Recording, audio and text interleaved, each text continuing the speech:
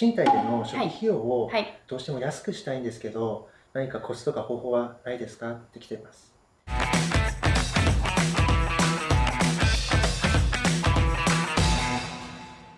Hello，大家好，我是小吴，皆さんこんにちは、吉川です。よろしくお願いします。よろしくお願いします。确实，减少初期费用呢，也是大家比较在意的一个点。比如说，你这个月房租是八万块钱，那你的初期费用可能在三十万到四十万之间。首先，有的房子是有礼金的、押金的，还有的房子还是两个月的押金，然后还有保证公司，然后其中还有清扫费，然后火灾保险。有这样需求的朋友们，我建议大家可以找送免费入住的房子，有的房子它送一个月、送两个月的都有。这样的话，我们在初期费用中，我们就可以减少当月的房租和第二个月的房租，这样也会减少一部分费用。嗯